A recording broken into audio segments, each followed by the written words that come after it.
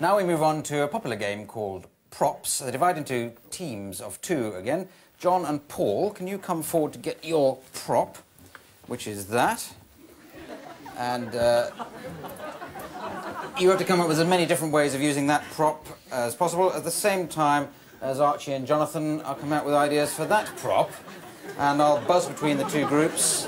So if you're ready, away we go now. I call it two commandos copulating.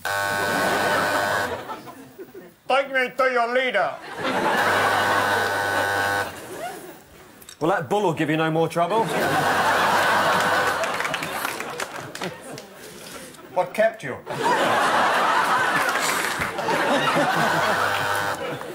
How to entertain your children in the 1950s with one of those metal games you try to take them apart.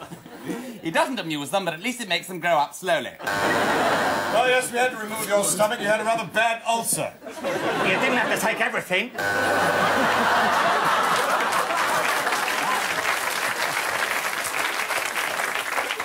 I'd like to complain about these contact lenses. Brilliant.